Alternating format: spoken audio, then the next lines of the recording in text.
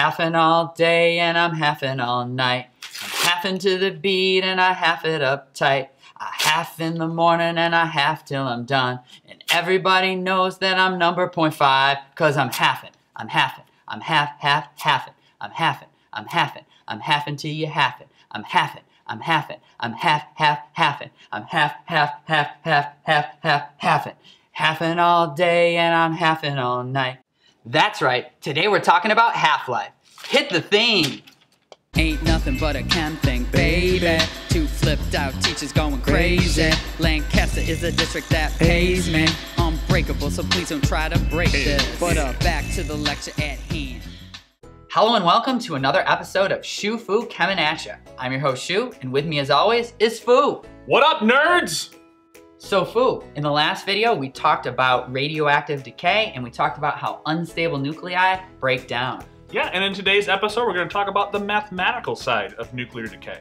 So let's get started. Half-life, a lesson from the nuclear chemistry unit. The concept of half-life, what is it? It's the amount of time it takes for half of a sample's nuclei to decay. This amount of time, regardless of the initial amount, remains constant. It is important to note that during one half-life, half of an atom's nucleus doesn't decay, but instead, the nuclei of half the atoms in a given sample decay. Wait, what? No matter how many atoms you start with, half of them will decay after one half-life. After a second half-life, half of the atoms that remain after the first decay will also decay, and so on. The time that passes after each decay by half does not change. Although from a mathematical standpoint you wouldn't expect to ever reach zero, in reality all atoms will eventually decay and you will reach zero. So if we take a look at the image on the left, we have a graph that helps illustrate this concept. On the y-axis of our graph, we can see it's the percentage of radioisotopes that remain, and on the x-axis, we have the number of half-lives it goes through. So our percentage always starts at 100%, so we have 100 red atoms as illustrated above the graph. Now, after one half-life, we would expect that half of the radioactive elements would decay into what we can call daughter isotopes. So the red radioactive ones represent the parent isotope, they become the daughter isotopes. So now we would go from 100% to 50%. After another half-life, so now we're after a second half-life, we had 50% remaining, we would now cut that in half. So now we would have 25% remaining. Another half-life would cut the 25 down to 12.5, another down to 6.25, and so on. How do half-lives differ? Use table N to look up the half-life for each nuclide. Each radioisotope has its own distinct half-life that cannot be changed. What else should I know about half-life? Radioisotopes with short half-lives are less dangerous because they decay more quickly. Radioisotopes with long half-lives are more dangerous because they decay slowly and thus stay radioactive longer. This is a particular problem with radioactive waste. Changes in temperature, pressure, concentration, surface area, and catalyst do not affect the decay rate and thus do not affect the half-life. All right, we're gonna take a look at the half-life of carbon-14. So if I have a sample of carbon-14 that's shown by the red atoms, and I start at time zero right about now, they're gonna start decaying into nitrogen-14 that's shown by the blue atoms. After one half-life, I've gone from 100% carbon-14 to 50%, and I've gone from 0% nitrogen-14 to 50%. One half-life in this case equals a little over 5,000 years. Half-life calculations. You will use table N and a time chart to solve half-life calculations. Use table N to determine the half-life if the identity of the nuclide is given in the problem. A time chart involves the time, zero for the initial time, and the mass remaining. All right, we're gonna do some examples showing half-life calculations. You ready, Fu? I am. Good. How many grams remain of a 10.0 gram sample of cobalt-60 after 15.813 years? All right, let's start by making our time chart. T, 0, M, Good, make a little grid there. got it. All right, let's break down what TOM means. So what's T in TOM stand for? T stands for time. Now looking at the problem, what unit of time will we be using? Looks like years. Good, let's note that in our TOM chart so we don't forget.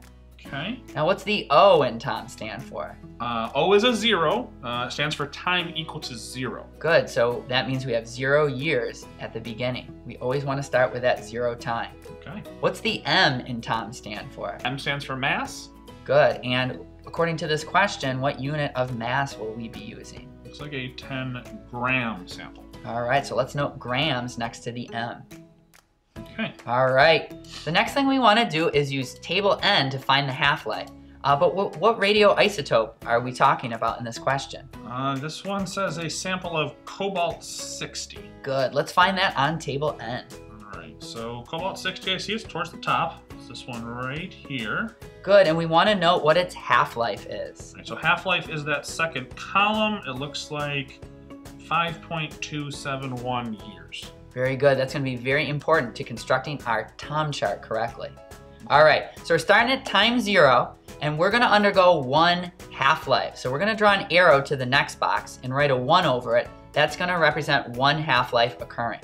Okay. Now, based on what you just determined, how much time has passed after one half-life? 5.271 years. Good, let's put that in under time. Good, so one half-life has occurred. We've got 5.271 years occurring. Okay. All right, let's do another half-life with our arrow. Okay. Now, how much time would have passed now? Um, well, if every half-life is 5.271 years, I would add another 5.271 years to it. Exactly, good. Okay, so that looks like 10.542 years. Good, let's do another half-life. Okay, third half-life and adding another 5.271 years, right? Yep, Uh, looks like 15.813 years. now, we actually know that we can stop here and not just keep going forever because if you look at the problem, it says Oh. after 15.813 years. Okay. So can you kind of see where our final answer is going to be? Okay, so if I want the mass remaining, that's going to be how much is right down here at the end of that 15.813 years. Exactly, Okay. good. So let's work out the mass. Uh, what is our beginning mass at time zero? All right, so it says in the problem that it was a 10 gram sample to begin with, and beginning is always times zero, so 10.0 grams. All right, so we're gonna do the same sort of thing where we have a half-life occurring. What do we wanna do to the mass with every half-life? Cut it in half. Exactly. I mean, it sort of tells you right in the name what to do. Okay. So how many grams would we have after one half-life? 5.00 grams. Great, let's keep going. Uh, half of that is 2.50 grams. And finally, Uh, looks like 1.25 grams. great, that is our final answer. We have 1.25 grams remaining after 15.813 years. Good job. All right. All right, we're gonna do another example. Are you still ready, Fu? We're talking about practice. I am. All right, so what fraction remains of a radioisotope that undergoes four half-lives? All right, let's start with our TOM chart. Okay.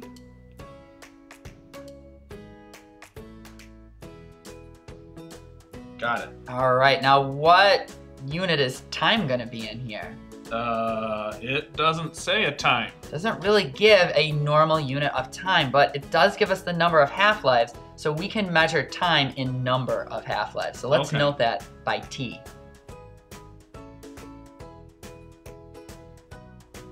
All right, what about the mass?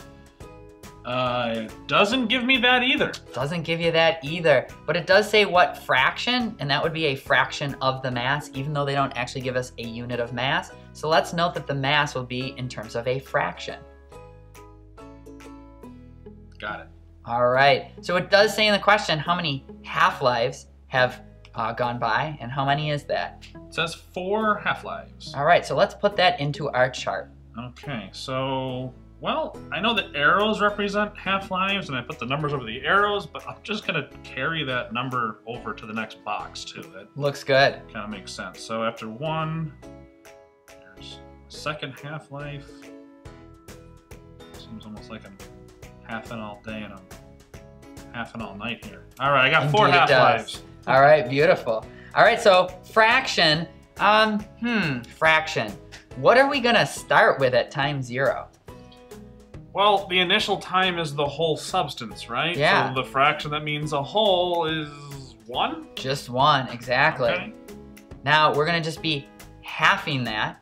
Okay, it's like when you're in elementary school and you're just like cutting the pie in half, right? So Okay. let's cut one in half after one half life. Well, oh, half of one is one half. Good. Now we have to take half of one half. Remember, we're really just doubling the denominator when we half a fraction. Okay, so then that's one fourth, Good.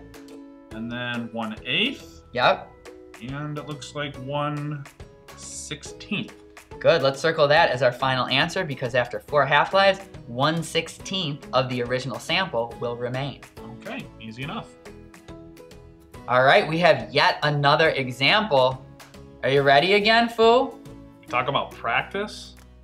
We're talking about practice. We're not talking about the test. We're talking about practice. I guess I'm ready. A sample of an isotope decays from 100 grams to 12.5 grams in 30.0 days. What is the half-life of the unknown radioisotope? This question's a little bit different, but we know we can start with our time chart. All right, so I'll set that up.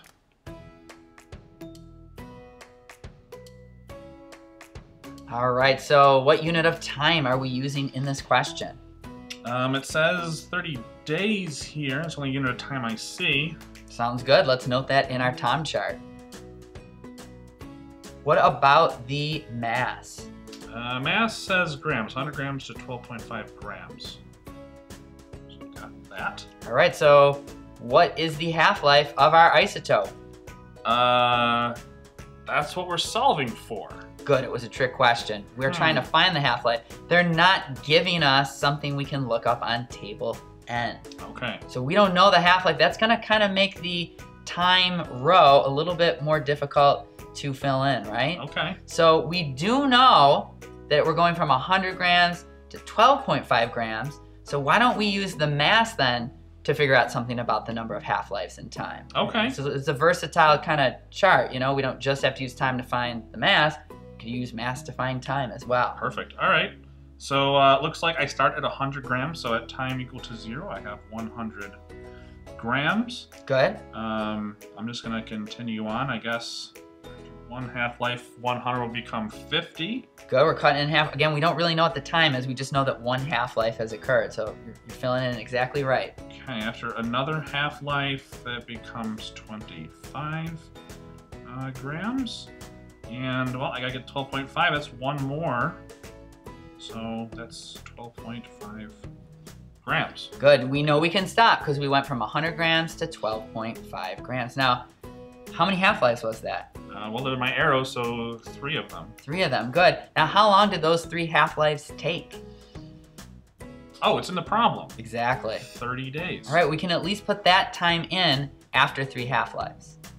We don't really have to fill in the other times as long as we know that three half-lives took 30 days. Okay. So mathematically, kind of off to the side, how could we find the time for a single half-life? well, if it was 30 total days and you went through three half lives, you just divide, right? 30 days divided by three half lives? Exactly, let's show that work. Okay, so half life is equal to total time divided by half that's just the 30 over 3. Uh, 10 days? Good, let's do sig figs though. Looks like we've got three sig figs for all of our Mm. numbers. Yeah, looks like 3 on all of them, so 10.0 days. Perfect.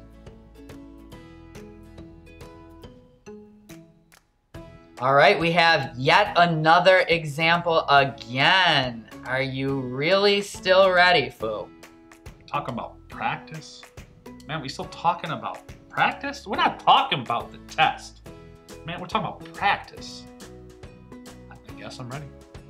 All right, given a sample of SR90, how long will it take to decay such that only 6.25% of strontium 90 remains?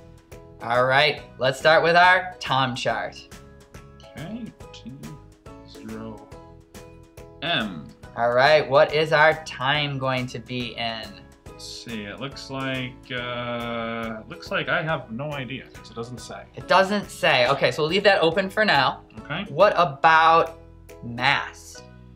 Uh, it doesn't give me a mass either. It does have a percentage though. All right, so it could be percent of the mass, right? So- Okay, so it can be mass, fraction, or percentage. yeah, exactly. Okay. So we have sort of flexibility in this chart. The units can be different. So percent is still good for mass. All right, we do have a nuclide here, so we can look up its half-life on table N. Okay, looks like strontium 90. So uh, looking, looks like it's towards the bottom here. I see strontium 90 right here, and 29.1 years is its half-life. All right, great. So we can first of all note the unit for time now that we know it. Okay, so it was in years, so years. And we can also put the time for one half-life into our chart. Okay, that makes sense. After one half-life, it's 29.1 years. Awesome. Now, what are we trying to find in this question? It says, how long will it take? So how long, that's time. Right. So this is going to be a question where we're going to use the mass to find the time again. So we're not going to keep filling out time right now, even though we did look up and fill in the half-life. Okay. We want to actually look at percentage to get to 6.25%, and that's going to help us figure out the total time. Okay. All right, so if we're looking at percents, what's going to be our percent of the sample at time zero? Hundred percent. Exactly, we have all of it. And after one half-life, what percent will remain? Uh, that would be fifty percent. All right, looks like we have to keep going here, so let's do another half-life. Okay, so twenty-five point zero Let's percent. let's also fill in the arrow with the two up top so we remember that we have two half-lives going on. Okay. All right, looks like we have to continue. All right. So a third half-life gets me to twelve point five percent. We're getting closer. And it looks like after a fourth half-life, if I'm doing my math correctly here, it should be six point two five percent. Good, we know to stop now because we got to the 6.25% that's described in the question. Okay. All right, we got to fill in the rest of our row of time so that we can figure out how much time has passed by the time we get to the 6.25%. Okay, so well, each half-life is 29.1, so I'm just gonna add that to each half-life, right? So Yep. after a second half-life, that's 58.2 years. Uh, adding another 29.1, I get 87.3 years. And another 29.1, I get 116.4 years. Good. So it looks like it took 116.4 years to get to 6.25%, so let's circle that time as our final answer. Okay.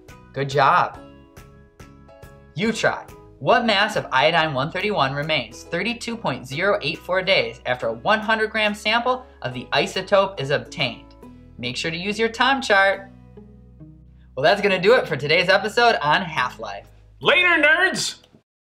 Today's episode is brought to you by Welter's Fisheye Wearable Fish Camera. Let a fish do your fishing. Bonus fish scented lens cleaner included. Woof Weekly says Carp a diem. Not intended for aquarium fish. One time use only. Not disposable. Results may vary. But we never off, always on till the break of dawn. S C I E N C E in the hall they call S Wing. You know we never wear a tie like my homies, boys two men. It's so hard to say goodbye. Like this, that, and this, and uh. It's like that, and like this, and like that, and uh. It's like this. you're going in low power mode. Plug and chill to the next episode.